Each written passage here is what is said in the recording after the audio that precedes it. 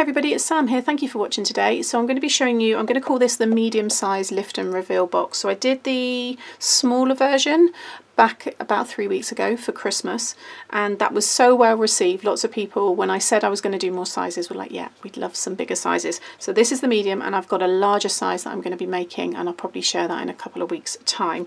So if you haven't seen the lift and reveal, you basically just lift the flap, open it up and it will reveal this section where you'll have your gift and you tie it around the ribbon so it doesn't move. But you can also, what some people done with the smaller one is they had a gift card in the bottom here.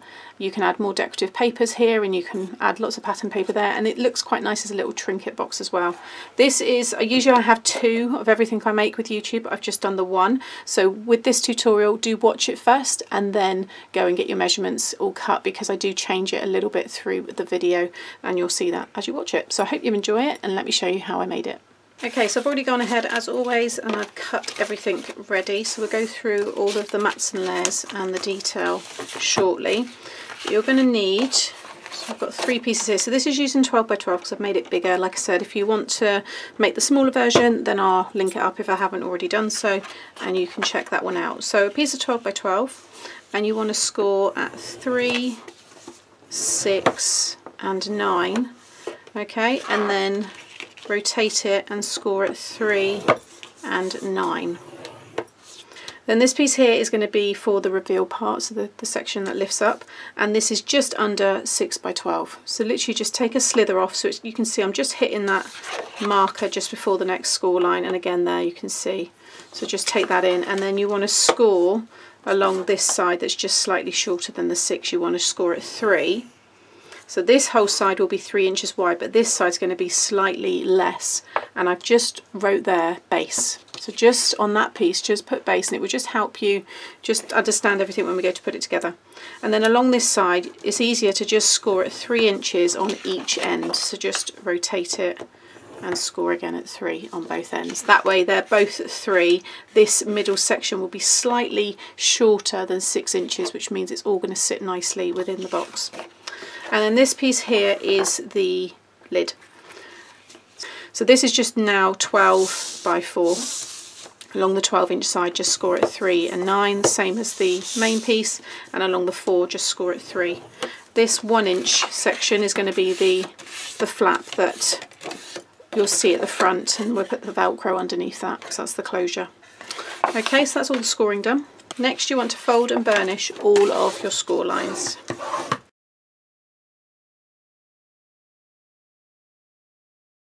Okay, so we'll start off with the largest piece here. And you just want to cut up all of these side score lines here, just up to the first one. Okay, so you just have all of these sections. And then with this one here, no actually we'll do the lid. So with this piece, the smallest piece, where you've got these small rectangles at either end, just remove those completely. Actually, this piece doesn't need to be that big. We don't need these flaps. Because this is the first one I'm making in this size using the extra piece because the smaller size you make out of um, all of it from one piece of A4. So actually this can just be 6 by 4 Yeah, 6 by 4 and just do the score line at 3. So I'm actually going to remove these bits. So I will put a little pop-up to say that this actually doesn't need to be that size. So I've not wasted too much. This is just going to my scrap. I might just tidy that up on my trimmer as well. But that's just the lid piece. It's actually going to stick on top of here. So with this one, that's the base. So actually, so we just need to cut down each of these score lines either end like so and then it doesn't really matter whether you have this over that side or it on the inside it really doesn't matter. I'll probably just keep it on the inside there. Okay so I'm going to before I do that I'm going to add my holes. So you want to get your hole punch and I'm also going to get my pattern paper. So I'm going to have these two. So you want the base on the bottom. Let's get rid of this one so you can see what I'm doing here So I'm going to have this one on the bottom section. So I want to stick this down first so that I can add the hole punches. In fact, I'm just thinking, no, I'm going to go with the plain because I just think that way it will show the gift off a bit better. If it's not, if it's, if the paper's quite busy, then I mean, you're still going to see it, but I just think it will really pop when they lift the box up if the paper's a little bit plainer. So that one, and then I'm going to have that one on the back. And these all measure, so all of the panel pieces, these are two and three quarters by five and three quarters. And then I'm going to use my Crop-A-Dile just so I can get back in the card a bit further, but I want to do two holes. I'm going to do them a little bit further apart than I've done the other one, just because this is a bigger section. So you want to get it in the middle or thereabouts. I'm kind of happy with that and then I'm going to follow it down and try and get it about the same distance there. That'll do. Um, once the gift's over it you're not going to see any of that anyway and then I'm just going to feed the ribbon. Rub out the word base. I mean if they lift it up further far enough then they will see that I'm just going to tie this now in a bow. I've cut it longer than I probably need, but I'd rather have it a bit longer until I put the gift in it so I know it fit. And you can always double wrap it. But I'll do like that for the minute. And then I'll just tidy the ends. Like I said, it may well get trimmed, but that will do for now. So next we can stick the sides of these together. So I'm going to flip it over and I'm going to add my glue. And then just bring that over and then whilst that one's drying I'll do the same on this side. Okay so that's now all stuck together. And then it's up to you now whether you want to cut a curve shape which is how I done the smaller version or you can just cut straight across. So I think this time I'm just going to cut straight across. If you want to do a pencil line first and then trace you know follow along with that then you can but I'm just going to snip across. And again so that is our reveal section now all ready for us to attach to the box. So we'll get these now and we'll start putting this one together. This one facing you will be the front of the box okay so that will be I would suggest that these sections here are the last ones you stick down so I'm going to bring up this one here I'm going to trim off anything that may overhang at the end I'm not going to worry about it at the moment. Usually I take wedges off of all these squares, but I think people are going to maybe put it together slightly differently. So I'm just going to bring up each side. So there's that one there. And then do the same, fold that one back on this one.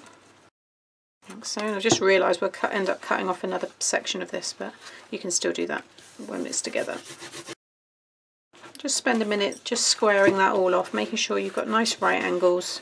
It's going to become a really nice strong box with all of the layers that we're sticking on top of each other and because I'm using that glue it's going to really strengthen it. So now I can just bring this one around and that's going to cover, it just means you have a nice finish on the front. You don't see all these kind of raw edges. So again just add your glue and I'm just going to bring that one over.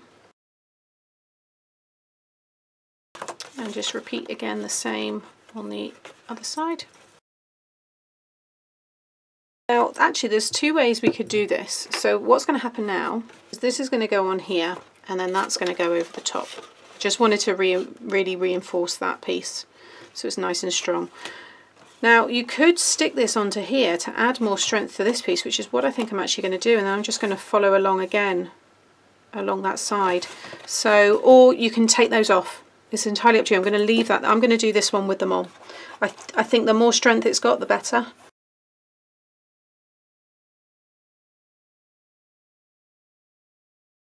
And you can see it fits in really nicely because we've made it slightly smaller. And then I'm going to put my glue on the triangular part. And then I'm going to just lay that over there. And then I mean this piece is slightly bigger so I'm just hoping that isn't going to actually interfere with it. So just thinking about it, the whole point of cutting this piece smaller is so that it um, fits in there. So it should still go in quite freely. So again, just bear that in mind. But I think it, it, it still does wrap around really nicely. So I'm going to go for it, see what it's like. You can always, you know, remove it. You don't have to have those pieces on there. So now I'm just going to just trace along like so and just make sure that's stuck. Yeah, I'm pleased with that. But like I said, just, you know, have a play around first. Make sure yours does slide in. If it doesn't, then don't stick that on the side. Just trim them off. And now this one, just to finally, you know, reinforce it, that's going to go on the top there. And then that will lift up. So I'm just going to add my glue onto this piece. Okay, so now that goes in there nicely. All that's left to do is decorate with all these mats and layers, which again, with that two and three quarters by five and three quarters. So I've got the butterfly, which is going to go underneath here. And then I've got the plain one on the top, and then I've got that butterfly, which is going to go on there. Now the butterfly dies are from, these are old Bright Rosa it's this one here from the actual butterfly band, but if you've got the butterfly border dies, then there's a similar size in there as well, and you get the background die. So I've used those. Papers some of you might recognise are actually a very old first edition pad, and it's the Mariposa. So I've got a little bit there, but I pulled out mainly from my scraps. So I'm going to stick all of these down.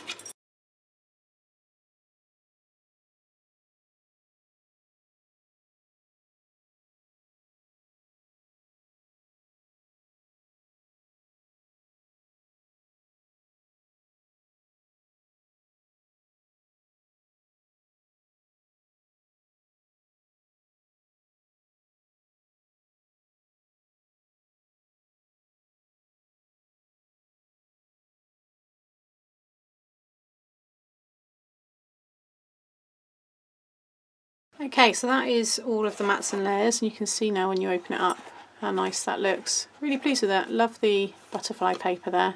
And then I've just got some Velcro dots here. I'm just going to pop a pair just under there. And again at that end there. And then just close that and as long as the bottom one kind of attaches, just carefully prise them apart. And then you'll just be able to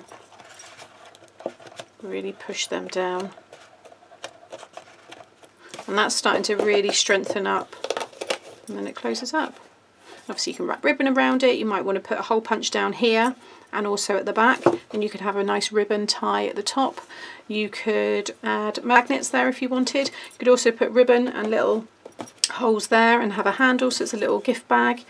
There's loads of ways to you know change it up a bit more if you want but yeah I think it's nice. And also you can do those closer together the hole punches you could go out a little bit further and if you've got a smaller hole punch which on the Crop-A-Dile you have the one eighth of an inch so you just move that down.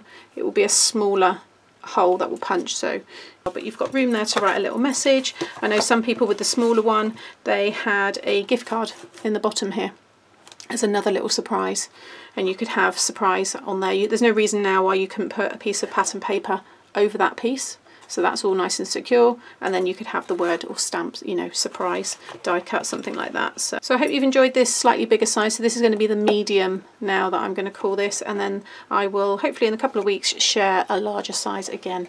And then we've got a nice kind of trio of lift and reveal boxes. So thanks for watching and I'll be back again very soon with another tutorial. Bye